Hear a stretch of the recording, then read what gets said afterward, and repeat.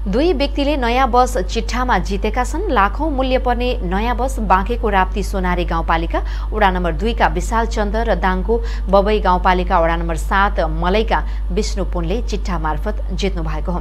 तुलसीपुर स्थित राप्ती त्रि सिद्धेश्वरी यातायात प्रणालीले मङ्गलबार तुलसीपुर स्थित बिएस पार्टी प्यालेसमा चिट्ठा कार्यक्रम आयोजना गरेको थियो। सोही चिट्ठा कार्यक्रममा व्यवसायी चन्द र पुनले बस जित्नु भएको हो। नेपाल प्रहरीका सहायक हवलदार समेत रहनुभएका चन्द हाल तुलसीपुर स्थित बस पार्क काउन्टरमा कार्यरत हुनुहुन्छ। उहाँले दुई हजार बहत्तर सालमा नाचार ख सतहत्तर पच्चिस नम्बरको बस किन्नु भएको बस हालसम्म पनि दाङ सल्यान रुकुमसम्म सञ्चालन हुँदै आएको छ। त्यस्तै दाङका पुनले एक वर्ष पहिले मात्रै बस किनेको बताउनु भयो। ना तिन ख चौवालिस शून्य शून्य नम्बरको बसको उहाँको बस